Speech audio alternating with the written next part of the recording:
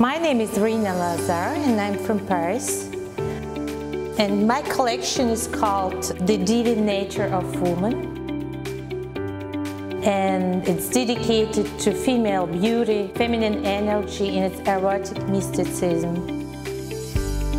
Each woman is beautiful in her own way, and each has a special, unique flower inside.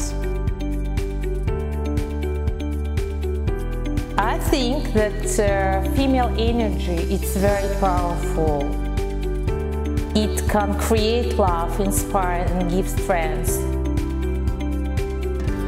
In other times, it becomes dangerous, distracting and devastating.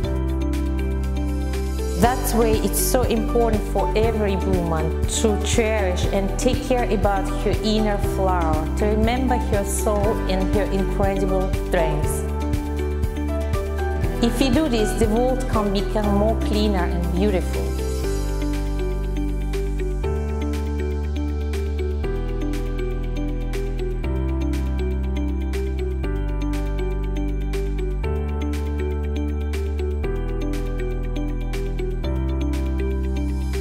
When I first saw the works of Georgia O'Keeffe, the American artist, I was shocked by the feelings of love and harmony that they evoked. I wanted to continue this topic, but I needed to find my special technique, which reflects the trends and atmosphere of 21st century. I very much hope that I succeeded.